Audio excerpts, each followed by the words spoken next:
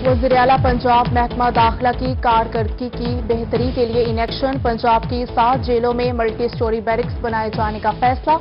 Border military police और Baloch Levi's में भर्तियों की मंजूरी। वज़ीर अला ऑफ़िस में महकमा दाखिला की कारकर्दगी से मुतलिक इजलास। मियावाली में हाई सिक्योरिटी जेल का सिविल वर्क मुकम्मल। लोहदरा में नई जेल तामीर। पंजाब की 21 जेलों में प्रिजेंस मैनेजमेंट इंफॉर्मेशन सिस्टम का आगाज़। वज़ीर अला पंजाब ने कहा कि मल्टी स्टोरी बैरिक्स में दस हज़ार कैदियों की गुंजाइश होगी।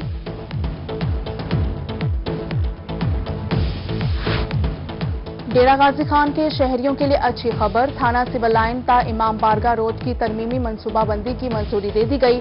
डेढ़ किलोमीटर रोड की बेहतरी पर छह करोड़ बीस लाख रुपए खर्च होंगे।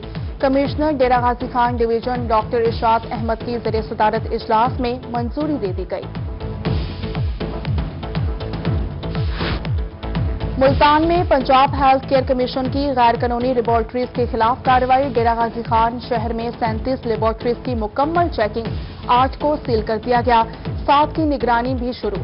सील होने वालों में Malik lab new Ibrahim lab royal diagnostic lab एफ्रास clinical lab royal time covid collection centre test zone diagnostic centre और रजा लैब को कोविड कलेक्शन सेंटर सील किया गया।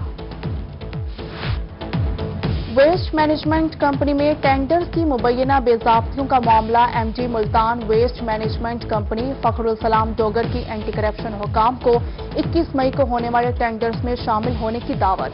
Regional director anti corruption Multan को मुरास्ता लिख दिया। मतन में कहा गया कि एंटी करप्शन अपना नुमाइंदा मुकर करे और टेंडर्स प्रोसेसिंग की निगरानी करे। सेक्रेटरी ज़रात जनूबी पंजाब, साकिब अली अतील की जर सदारत इजलास। हर सरकारी ज़रिए फॉर्म।